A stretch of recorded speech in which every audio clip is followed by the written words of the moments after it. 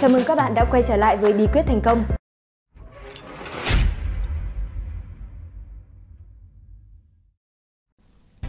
Bí quyết thành công là kênh YouTube chia sẻ tới các bạn những bài học, bí quyết trong kinh doanh, cũng như trong cuộc sống và học hỏi từ những người thành công để giúp bạn vươn tới thành công và thịnh vượng. Chương trình được phát sóng vào lúc 20 giờ mỗi tối hàng ngày trên kênh YouTube Bí quyết thành công. Kính mời các bạn đón xem.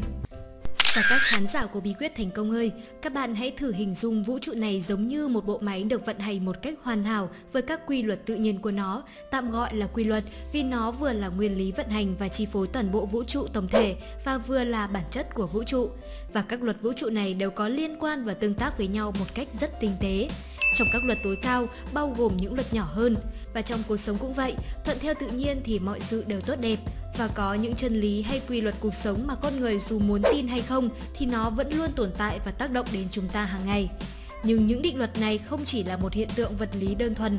Trong thực tế, những điều tương tự xảy ra trong cuộc sống thường nhật mà ta vô tình không nhận ra.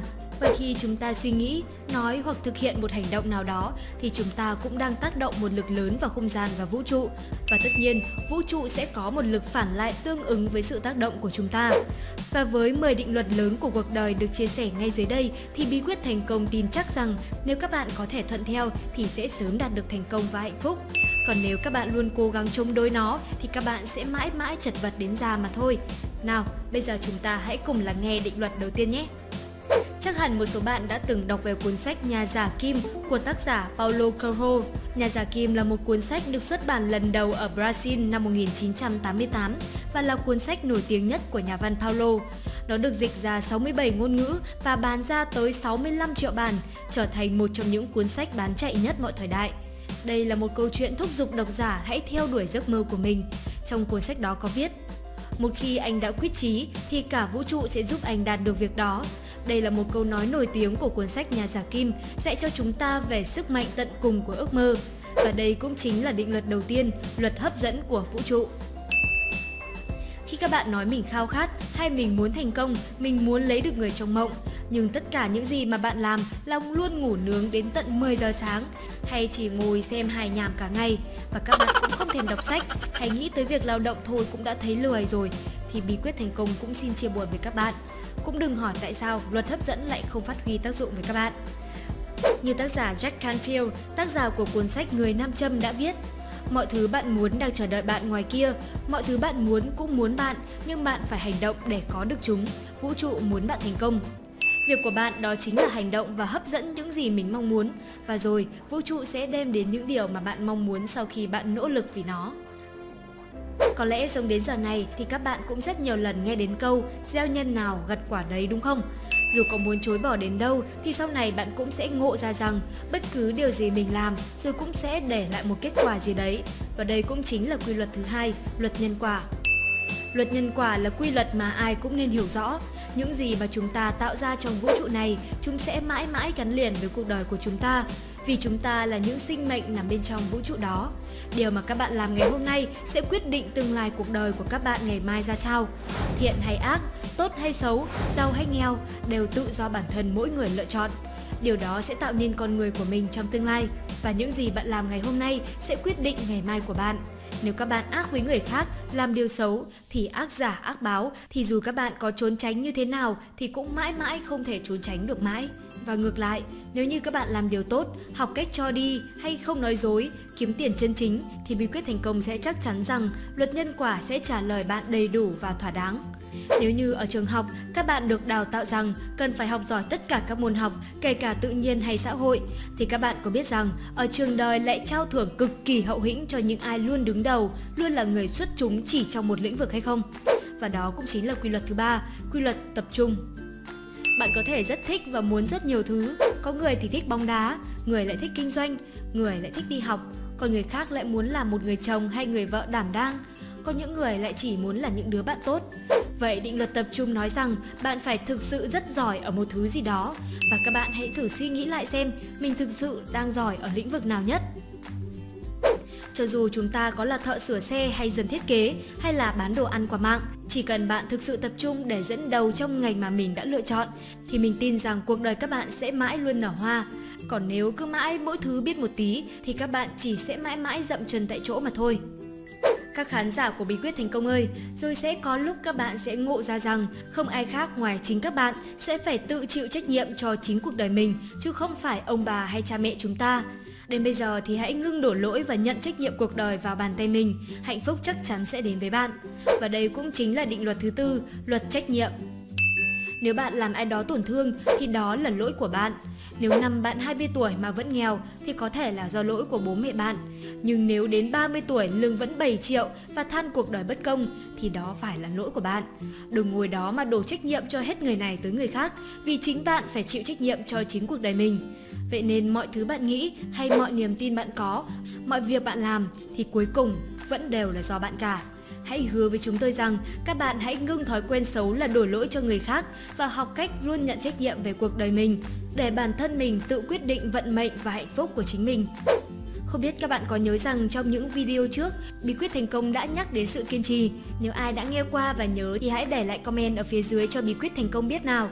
Các bạn ạ, người thành công thì không bao giờ bỏ cuộc và những người bỏ cuộc thì chắc chắn sẽ không bao giờ thành công. Tất nhiên là bạn có thể tạm dừng để nghỉ ngơi hay chuyển hướng, nhưng tuyệt đối không được từ bỏ. Và đây là định luật thứ 5, luật kiên trì. Nếu các bạn càng quyết tâm, càng kiên trì và nỗ lực bao nhiêu thì sẽ nhận lại được bấy nhiêu. Trên đời này, bí quyết thành công hiếm khi gặp một ai dám nói rằng tôi đã thử hết mọi cách, tôi đã tìm đến mọi sự trợ giúp, tôi đã cố gắng hết mình, nhưng cuối cùng tôi vẫn thất bại. Vì sự thật là một khi bền bỉ và đặt hết tâm trí vào việc mình làm, thì tất yếu định luật kiên trì của vũ trụ sẽ trả lại cho bạn xứng đáng với công sức mà bạn đã bỏ ra. Mọi thứ xảy ra trong cuộc đời này đều có lý do của nó, có rất nhiều thứ nếu chịu cố gắng thì mọi chuyện có thể thay đổi. Nhưng có một số chuyện thì các bạn buộc phải chấp nhận rằng mình thực sự bất lực và phải cho qua đi. Và đó chính là luật chấp nhận, định luật thứ 6 mà chúng tôi muốn chia sẻ với các bạn. Khi chúng ta học được cách chấp nhận, bí quyết thành công xin lấy ví dụ về chuyện tình yêu. Đôi lúc trong tình yêu chúng ta phải chấp nhận rằng có thể anh ấy hay là cô ấy sẽ không yêu mình. Hay trong cuộc sống chúng ta cũng phải chấp nhận rằng có thể một ngày nào đó bố mẹ hay anh em của chúng ta rồi cũng sẽ có ngày phải ra đi. Hoặc trong kinh doanh, chúng ta rồi sẽ có lúc phải chấp nhận rằng mình đã mất hết mọi thứ thật sự. Thấu hiểu dù có giỏi giang đến đâu thì bạn cũng không thể bắt mọi chuyện diễn ra theo ý mình và đó chính là một sự giải thoát khỏi gánh nặng chối bỏ mà định luật chấp nhận có thể đem lại cho cuộc đời bạn. Khi đó chúng ta sẽ thay đổi bản thân cho phù hợp với hoàn cảnh để dễ thích nghi hơn. Vậy không biết các bạn có tin rằng mọi sự trên đời này đều gắn kết với nhau bằng một sợi dây vô hình nào đó hay không? Có những chuyện bạn làm bây giờ và bị người khác coi là vô nghĩa, nhưng 10 năm sau thì nó lại cực kỳ quan trọng. Người bạn giúp hôm nay biết đâu mai này lại có thể trở thành quý nhân phù trợ cho các bạn. Và đây cũng chính là định luật số 7, luật kết nối. Khi các bạn nhận ra được mối quan hệ tương hỗ này, các bạn hãy biết trân trọng và có trách nhiệm với mọi kết nối mà bạn đã và đang tạo ra, vì chắc chắn nó sẽ được kết nối với tương lai bằng một sợi dây vô hình nhưng rất chắc chắn. Các bạn ơi, chỉ khi chúng ta trở nên xứng đáng với điều gì đó thì chúng ta sẽ có được nó. Nghĩa là các bạn càng bỏ công sức bao nhiêu thì các bạn sẽ nhận lại được bấy nhiêu. Và người nào cho đi càng nhiều thì tất nhiên sẽ nhận lại càng nhiều. Và đây chính là quy luật ý nghĩa và cảm xúc. Trong cuộc sống này, những gì ta cho đi bằng tình người mới thật sự là ý nghĩa. Khi cho đi mà chúng ta không kèm theo bất cứ một điều kiện hay sự mong cầu nào, thì chính ngay khi ấy chúng ta đã nuôi dưỡng được lòng từ bi vô hạn. Khi ta cho mà không có sự tính toán thì sự cho đi ấy mới là lòng cao thượng, nên ta sẽ nhận được sự an lạc, hạnh phúc. Đó chính là cảm xúc của thịnh vượng. Và định luật cuối cùng mà bí quyết thành công muốn gửi tới các bạn, đó chính là định luật vui vẻ. Khi các bạn của bí quyết thành công gặp điều gì đó không hay thì các bạn hãy làm theo lời chỉ dẫn của chúng mình sau đây nhé. Hãy nghĩ đến những mặt tốt của nó, các bạn chắc chắn sẽ cảm thấy vui hơn.